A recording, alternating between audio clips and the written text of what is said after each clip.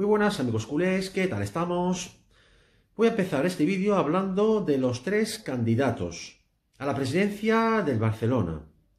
Estoy refiriendo a Joan Laporta, Víctor Font y Tony Freixa.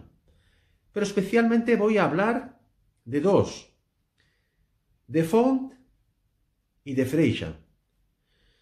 Sinceramente pienso que están dejando mucho que desear que no están demostrando que son culés, como dicen.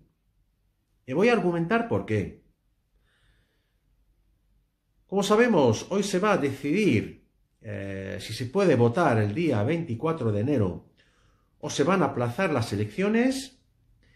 Y sabiendo ellos que Joan Laporta es el máximo favorito para ganar en estas elecciones del Barcelona, el, único que ha podido validar 9.625 eh, firmas, o sea, es, más del triple de lo que han validado ellos, y se ve que, ellos lo que, les, lo que les interesa es aplazar las elecciones, porque saben que van a perder. Saben que van a perder. De verdad, si fueran culés, si fueran culés de corazón, y de verdad que si quieren el bien para el Barcelona, tienen que renunciar al cargo, tienen que renunciar y dejar a Laporta como único candidato y así se va a proclamar presidente y va a tener tiempo para gestionar el club, sanearlo, hacer fichajes, hacer bajas, etc. Pero ya lo dijo el mismo Laporta en la famosa frase del 2009 de Al loro, que no estamos tan mal hombre. Laporta dijo que muchos culés dicen que son culés pero en verdad no lo son. No lo son. Son culés por interés, para ganar dinero y para que se hable de ellos. Y ahí está la prueba, ahí está la prueba.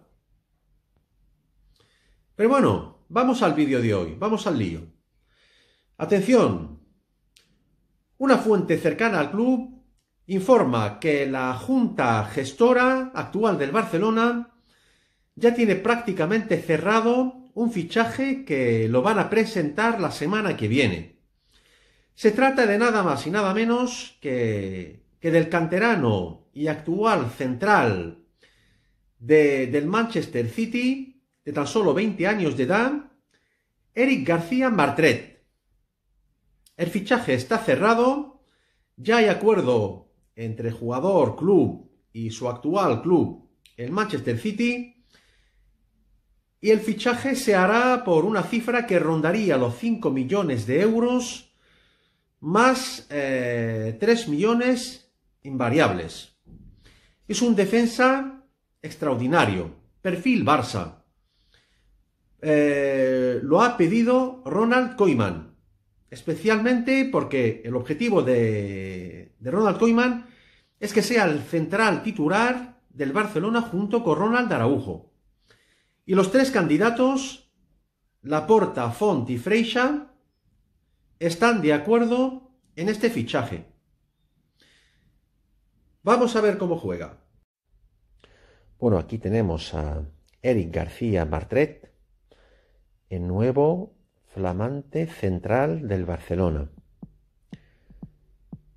Es un pedazo de central, como estamos viendo. Central completísimo. Es perfil Barça al 100%. Jugador de la cantera y sobre todo es un central que, juega con cabeza. Es un central inteligente como, como ya dijo varias veces Pep Guardiola. Y vemos cómo va el corte y siempre pues sabe, sabe leer las jugadas.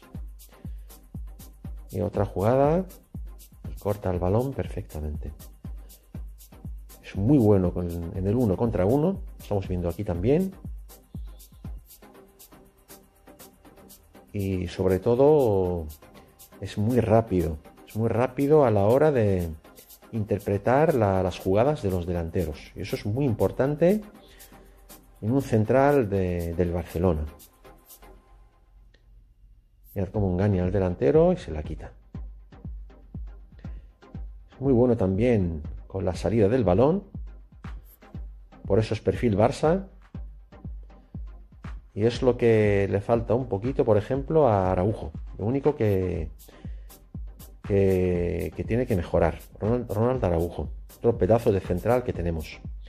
Como dije, el objetivo de Ronald Koeman es que Eric García sea el central titular junto con Araujo. Pero ya esta temporada, me refiero a, este, nuevo, a este nuevo año. Mirad. Y quita el balón limpio al delantero. Va muy bien de cabeza también. Otra vez. Y mira el corte. Va a firmar por cinco temporadas. Mirad cómo quita el balón limpio.